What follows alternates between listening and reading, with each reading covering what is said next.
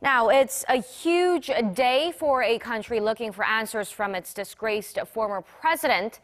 Park Geun-hye will set off from her private home in southern Seoul in a few hours to face state prosecutors questioning over her corruption allegations that brought down her political career. The former president's house is where we start today. Our reporter Shin Se-min is outside her residence. Se-min, is there much activity there at the moment?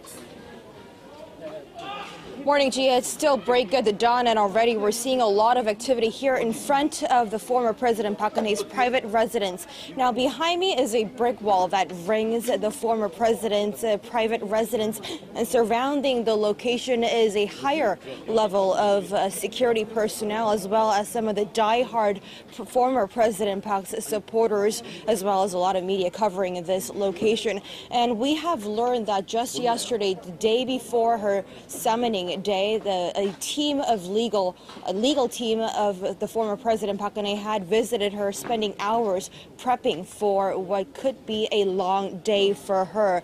Now, we but so far we have not seen those her legal team appearing at the site just yet. And in regards to when she leaves, all we know is that she is due at the prosecutor's office by 9:30 a.m. Korea time. We may not know what time she leaves until a fleet of cars pull out on the street, but we, it'll be the first time she has left her house since she left the presidential office of Cheong Wa Dae over a week ago.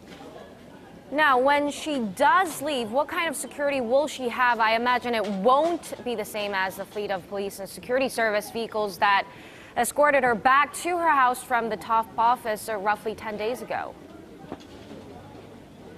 You're right. We don't know for sure in terms of that, but as you just said, it'll be the a different level of escort the former president will be having on our way to the prosecutor's office. Now, uh, that we hear it won't be the same as what we'd seen on the day that she had left the presidential office, where they guarded some of the roads and blocked some of the roads ahead of our convoy and controlled the traffic signals. But we'll have to, to wait and see in terms of the level of escort uh, for today. And given that Park is being summoned for questioning as a suspect and that only the minimum level of security services will be accompanying her for the prosecutor's office.